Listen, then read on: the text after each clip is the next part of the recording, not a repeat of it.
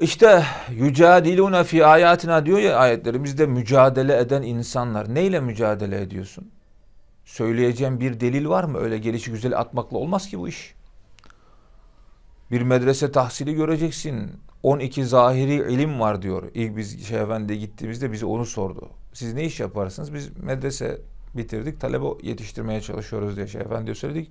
12 ilimden okudunuz mu diye söyledi Şeyh Efendi Hazretleri. Yani eski usul mü yeni usul mü demek istiyor mübarek. Okuduk efendim dedim.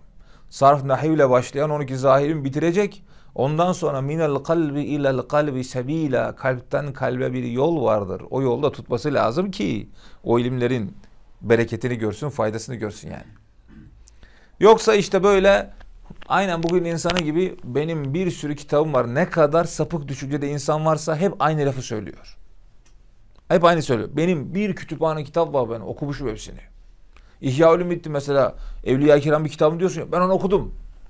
Böyle hani çok büyük bir mağara bir iş yapmış gibi okumuşsun ama yok arkadaş sen o kitaptan hiçbir şey.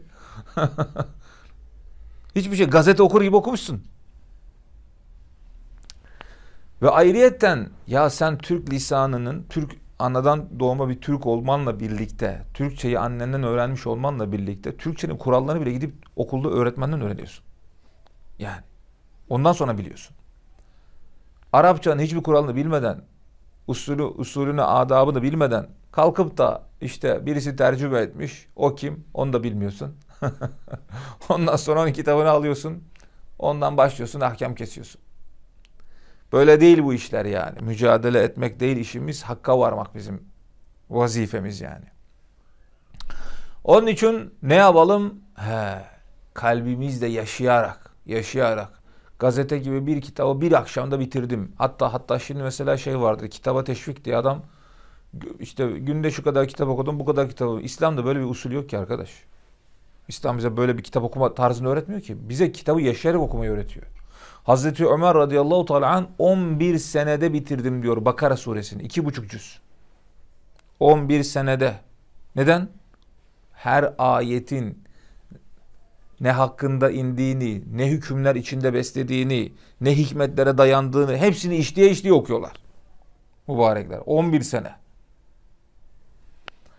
Yani gazete gibi kitap okumak mesele değil. Okuduğun kitabı kalbine oturtmak mesele. Yaşaya yaşaya okuyacaksın. Orada anlatılan ahlakı kendini ahlak edineceksin. Nice Allah ehli güzel kullar var. Bir hadisi şerifi bütün ömrüne rehber etmiş ya. Bir hadisi şerifi.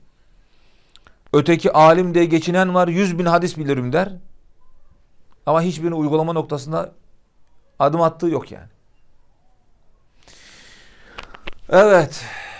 Eğer Allah'ın ayetleri, hakiki manaları, Resul-i Ekrem'in hadisi şerifleri, keza Evliyaullah'ın lafızları bunları anlamadan zahirini okuyup da böyle tartışan insanlar onlar da Allah'ın ayetleriyle tartışmış olurlar. Çünkü bunun kademe kademe böyle alır alır alır alır alır en son Allah'ın ayetiyle de tartışır hale getirir. En önümüzde bak daha yeni bir örnek oldu. Adam Çıktı bir şeyler bir şeyler söyledi durdu, söyledi durdu, söyledi durdu. En son ne dedi? Kur'an-ı Kerim'in içerisinde de insan kelamı vardır dedi. Mustafa Öztürk müydü neydi? Öyle bir adam işte. Yurt dışına gitti şimdi. Böyle böyle yani kendi aklını üste koyup aklının her şeyden her şeyi çözebileceğini ve harika bir noktada olduğunu düşünen kibirle yani yolan insan. Neticede bu noktaya gelir. Allah muhafaza buyursun. Ama Allah'ın ayetlerinde mücadele insanlar bilsinler ki diyor Allahu Teala kaçış yok.